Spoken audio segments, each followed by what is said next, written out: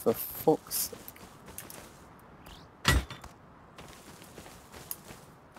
I heard that. Oh! I don't think it was that close.